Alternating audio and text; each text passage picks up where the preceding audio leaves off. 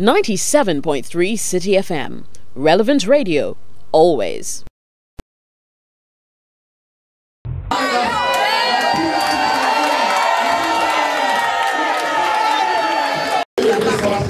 64 years, she, she joined UGCC when she was 13.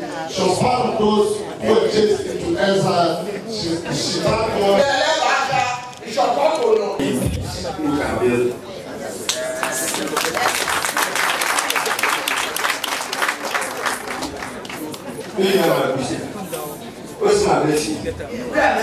Bisi no, ne etu ya dum no sɛ ɔba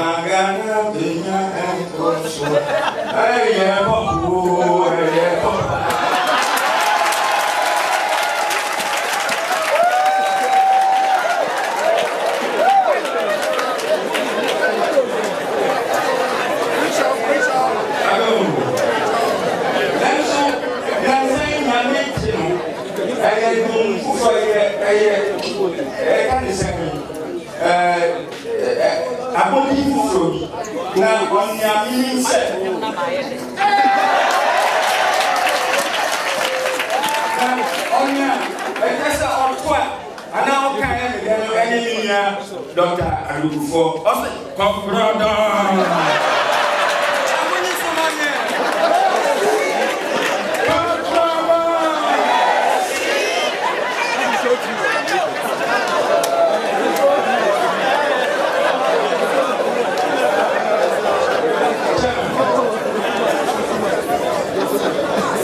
In the first place, I extend the fraternal greetings of the National Democratic Congress to our sister political party, without which we could not survive in this environment. Mr. Chairman, secondly, my brother Asiedu Nketia, the General Secretary, aka General Mosquito, has been taken away to his hometown on the occasion of the death of um, the man who inherited his father. And he has asked me, you know, to express, you know, his congratulations on this occasion of your anniversary. On the 10th of June this year, we also had our 21st anniversary. Incidentally, we were we were in the middle of the pink sheet and all those matters. So uh, we quickly organized and we had no time you know, to invite our sister political parties. Forgive us, we did not intend it. And we are very happy we are here today with you. We are here today with you to forge forward. We started Project Ghana as far back as 1957. We spent our youth. Look at those of us who are meeting here. Those who were with the UGCC, who are still there. Definitely, we can't, during our time, see this country break into. We can't. We can best do is to leave a legacy. Governments come, governments change. What I've seen is that no king lasts forever. The people will be fed up one day. Silence in their memory.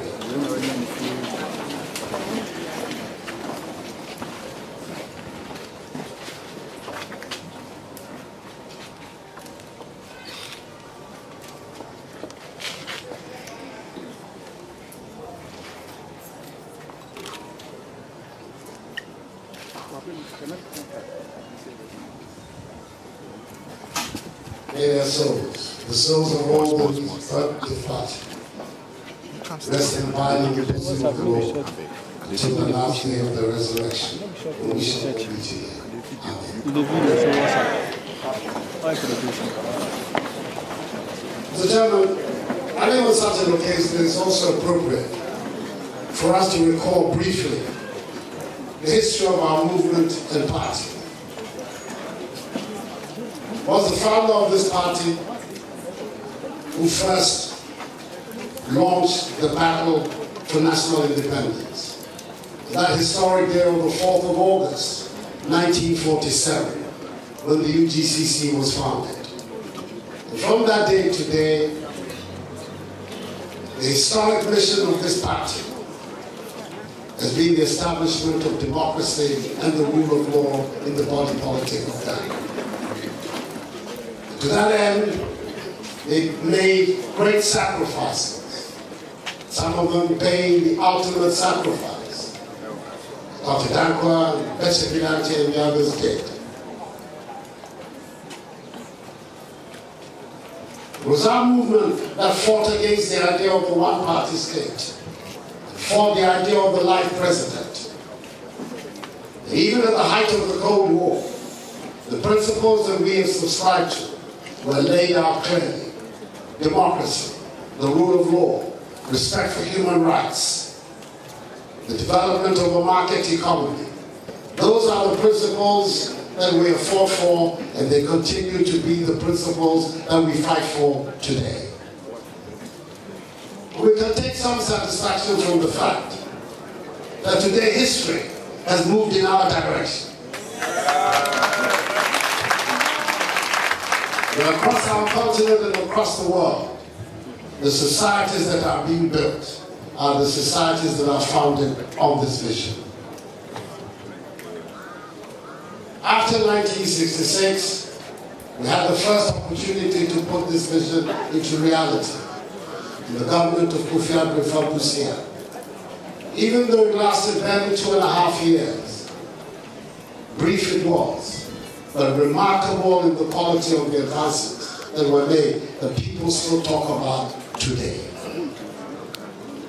With his overthrow came the fight to restore democracy in our country, the 1970s and the 1980s. And in that struggle, through the People's Movement for Freedom and Justice, the Movement for Freedom and Justice, members of this, of this tradition led the way, were prepared to brave detentions and exile to make sure that Ghana is what it is today, a multi-party democracy the rule of law.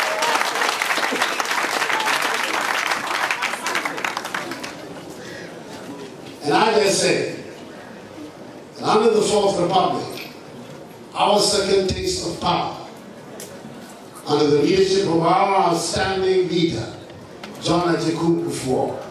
I say this with respect to Dr. J and the others, provided the best government that the Fourth Republic has produced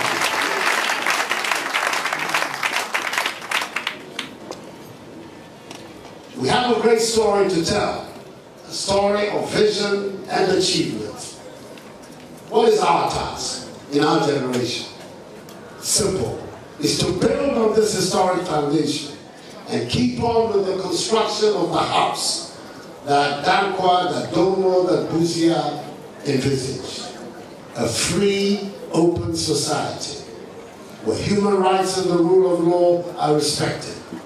A fair society where everyone has a fair opportunity, including access to education and free education.